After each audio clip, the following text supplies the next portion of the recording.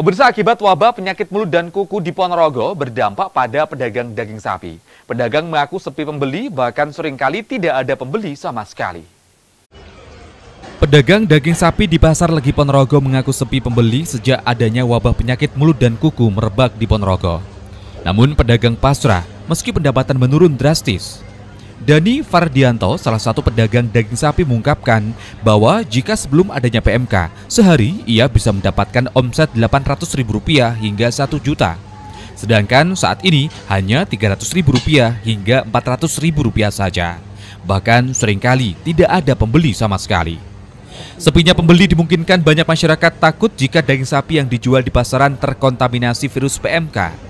Namun untuk harga tetap stabil yaitu sekitar 130 per kilogramnya, kemudian untuk stok masih relatif aman.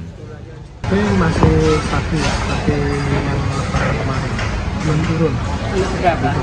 Dulu 130. Pasokan pun Kalau pasok kalau pasokan tetap biasa normal. biasa ya. Iya. Tapi kalau pembeli gimana mas? Kalau masalah untuk pembeli berkurang sih.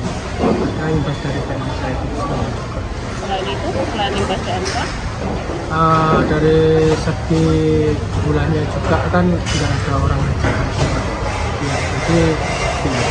nggak ada orang hajatan di bulan-bulan Iya. Selain akibat wabah PMK, sepinya pembeli juga karena di bulan ini tidak ada warga yang menggelar hajatan, sehingga tidak banyak warga yang membeli untuk hajatan. Ega Patria, JTV, Ponorogo.